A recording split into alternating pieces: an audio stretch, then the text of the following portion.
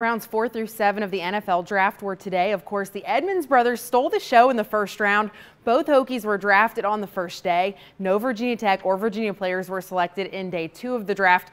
But in the fifth round, the final day, the Redskins drafted defensive tackle Tim Settle as the 163rd overall pick.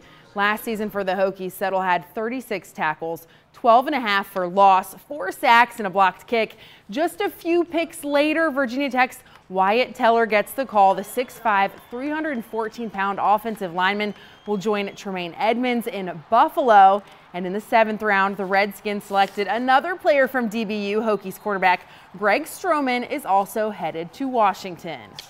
The fifth round was also good for the Hoos. Virginia linebacker Micah Kiser was drafted by the Packers and defensive tackle Andrew Brown was drafted by the Bengals. Along with Settle and Stroman, the Redskins picked up a couple more defensive players and drafted wide receiver Trey Quinn as the last pick, aka Mr. Irrelevant.